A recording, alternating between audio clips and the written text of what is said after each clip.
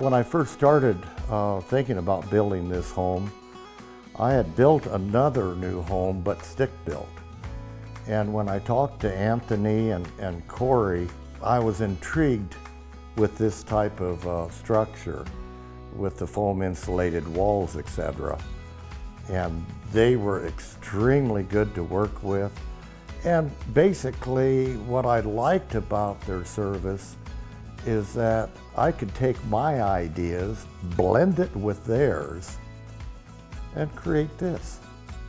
I had the initial floor plan that I wanted, something unique to me, and then took it in to the guys, and then they put it on computer so I could actually visualize it. I could see it before we even started construction.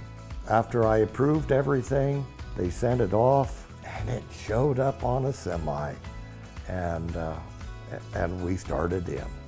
Even though I hired my own carpenter group, they were here to explain, help, and then it was a matter of putting panel A together with panel B, and they were all labeled. It was a very easy process.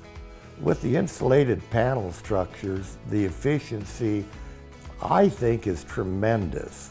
Heat-wise, I spend way less than a $1,000 a year. My electric bill through the summer is very minimal. As my neighbor says, I could heat this house with a candle if I wanted to. What I enjoy about working with these guys and the building, open door policy, walk in and talk with them and go, this is what I'm thinking.